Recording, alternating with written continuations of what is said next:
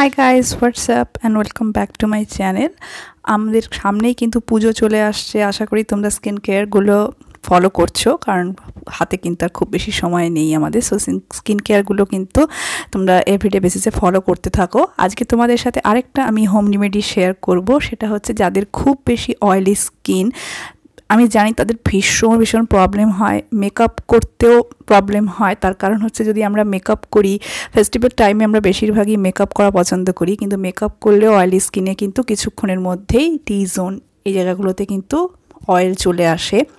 আর আমাদের কিন্তু ফাউন্ডেশন বা যেটা বেস মেকআপ থাকে, ভীষণই কে কী হয়ে যায়, তেল তেলে হয়ে যায়, দেখতে কিন্তু খুবই মানে বাজে লাগে। যদি সানস্ক্রিন অ্যাপ্লাই করো, সেটাও কিন্তু গলে গলে পড়তে থাকে বা উইদাউট মেকআপও যদি থাকো, তাও কিন্তু ফুল ফেস একদম অয়েলি হয়ে যায় চুপচুপ করে একদম অয়েলে কি বল বিচ্ছিরি লাগে দেখতে। খুব আমি জানি সেটা, যারা অয়েলি স্কিন বা কম্বিনেশন স্কিন ভীষণভাবে ফেস করো, আমিও ফেস করি, কারণ আমি করেছি কার তার কারণ একটাই যে আমারও কিন্তু কম্বিনেশন স্কিন আমার টি জোরে ভীষণ ভীষণ অয়েল আসে।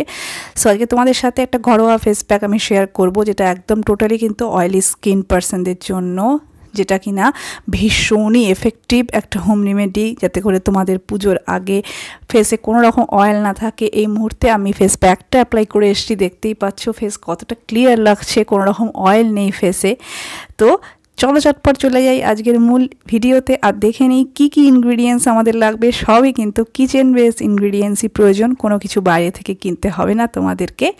সো চলে যাই ভিডিওতে তার আগে। যদি আমার চ্যানেলে প্রথম এসে থাকো, তো অবশ্যই সাবস্ক্রাইব করে দিও, নিচের রেড সাবস্ক্রাইব বাটনে হিট করে দিও।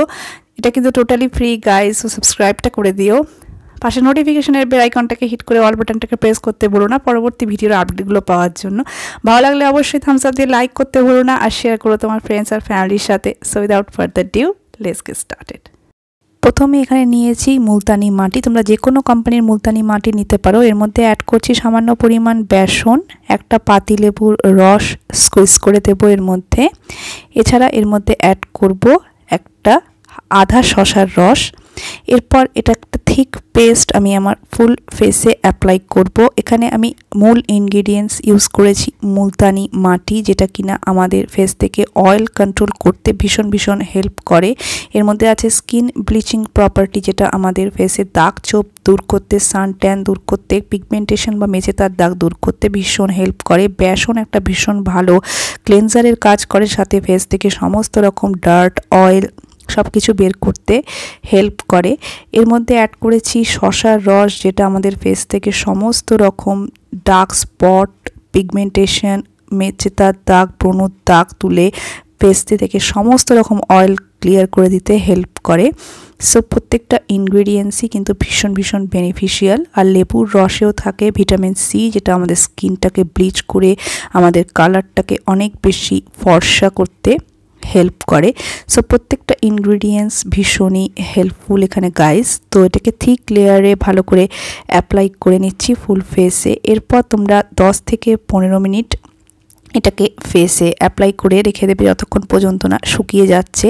আর ফেস প্যাকটা লাগাবার আগে অবশ্যই কিন্তু তোমরা একটা ভালো ফেস ওয়াশ দিয়ে ফেসটাকে ভালো করে ওয়াশ করে নেবে। সো দেখতেই পাচ্ছ আমি অ্যাপ্লাই করেছি। এরপর পনেরো মিনিট তোমরা ওয়েট করবে যাতে ফেস মাস্কটা শুকিয়ে যায়।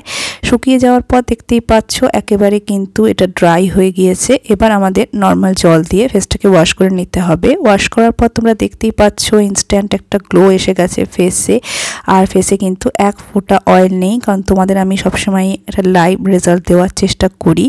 সো ভীষণই সুন্দর একটা প্যাক তোমরা যদি পুজোর আগে ট্রাই করো ফেস থেকে অয়েল কিন্তু ভীষণ ভালোভাবে কন্ট্রোল হবে। ভালো লাগলে অবশ্যই সাবস্ক্রাইব করো, নতুন এসে থাকলে লাইক করে দিও ভিডিওটাকে আর শেয়ার করো ফ্রেন্ডস আর ফ্যামিলির সাথে। So take care guys bye bye